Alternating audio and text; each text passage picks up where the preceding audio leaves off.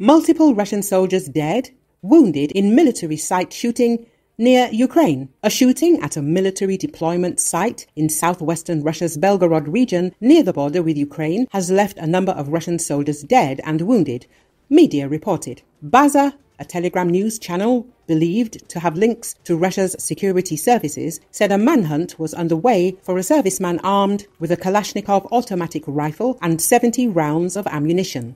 Baza did not say how many people were killed. Baza later said two soldiers were killed and one wounded after the shooting. The outlet posted a blurred photograph of a man claimed to be the shooter, identified as 29 year old Alexei from the Republic of Chuvashia in central Russia. His last name was not provided. The weapon and ammunition he was thought to have taken near the military site where the shooting took place, Baza added.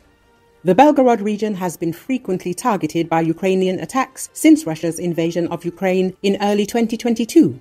Regional authorities who have not commented on the reported shooting say more than 250 people have been killed in cross border shelling and drone strikes. Violent crime committed in the occupied territories of Ukraine by Russian soldiers against their own comrades has skyrocketed.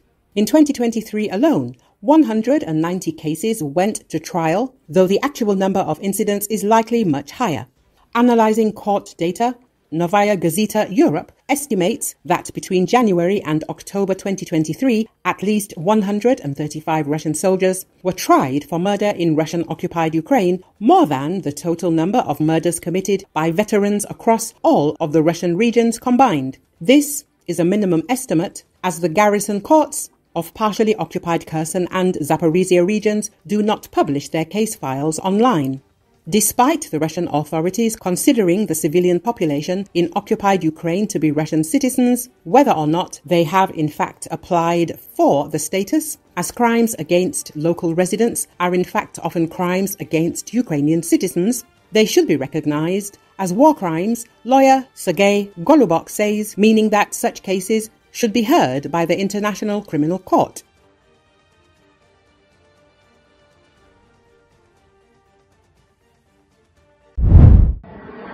A plane belonging to the Polish Air Force crashed in Poland on Friday, local media reported. During a training flight, the Italian-made 346 Bielik aircraft lost control and caught fire after hitting the runway in Gdynia Airport. Currently, the rescue operation is underway, as noted in the official statement of the Polish Army Command. One pilot was in the cockpit of the fighter at the time of the incident.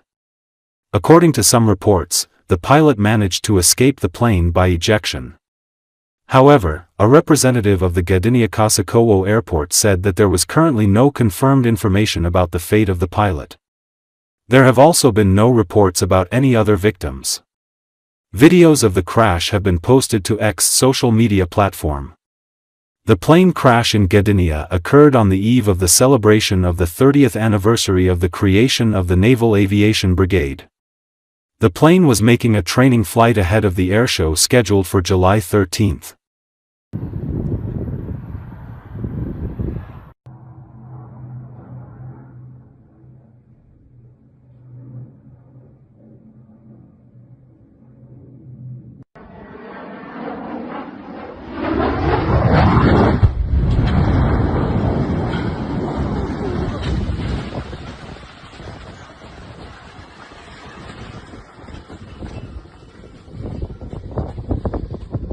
Я pierdolę.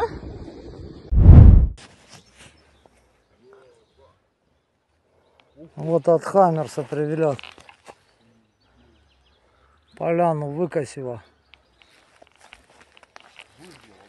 Выжгла все полностью. Вот тут пацаны погибли. Наши. Смотри, вот кучность какая, смотри. Смотри, пам-пам-пам-пам-пам-пам-пам наложила.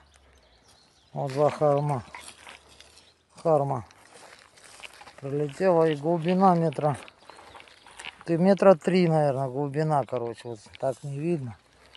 Вот УАЗик, короче, который был. Вот осколки. Него.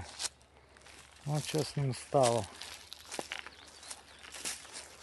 Пацанов вывезли БМП, увезли. Вот здесь деревья кругом были. Пустая поля, он пеньки срезала все деревья. Thank you.